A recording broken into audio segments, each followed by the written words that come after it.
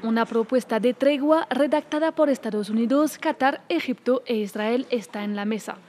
Estados Unidos la calificó de sólida y convincente y el jefe de Hamas dijo estar estudiándola.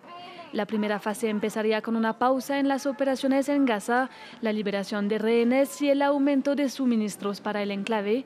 Si tiene éxito, la segunda fase sería la liberación de soldados israelíes y el restablecimiento de los servicios públicos en Gaza.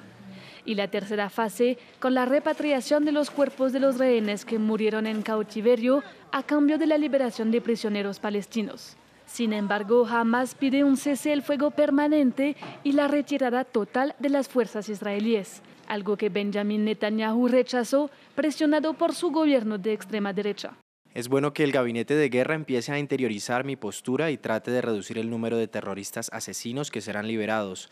Debemos seguir presionando para lograr un acuerdo que se esfuerce por alcanzar los objetivos de toda la guerra, la destrucción de Hamas, el restablecimiento de la seguridad para los residentes del sur y el regreso a casa de todos los secuestrados.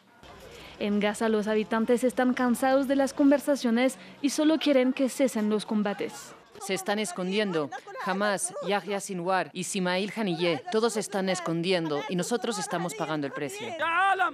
Basta, estamos muy cansados. Juro por Dios que estamos agotados. Decimos a todas las partes en conflicto que lo resuelvan. Estamos cansados. Si pudiera irme de este país, lo haría. Estoy harto. Ya basta. Y mientras se discuten las condiciones de una posible tregua, los combates continúan en la franja de Gaza, especialmente en contra de Han Yunis y de su hospital Al-Amal.